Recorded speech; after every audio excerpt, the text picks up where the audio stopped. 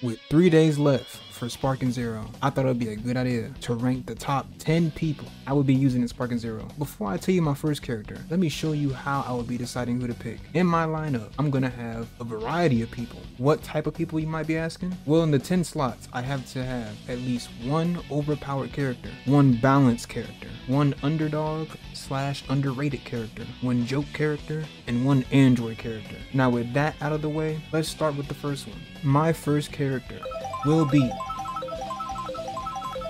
Super Vegito. Now most of you are probably thinking, okay, that's your overpowered character, out the way. And to that I would say yes.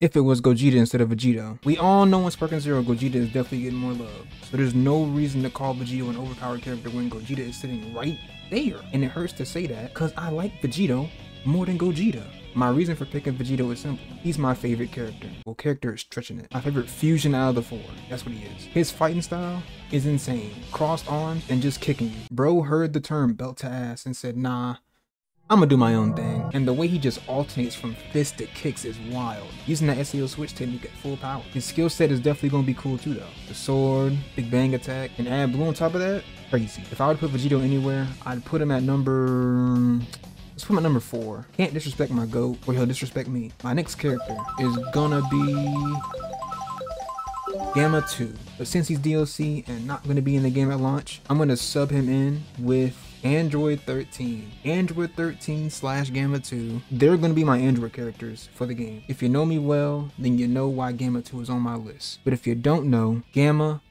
Impact.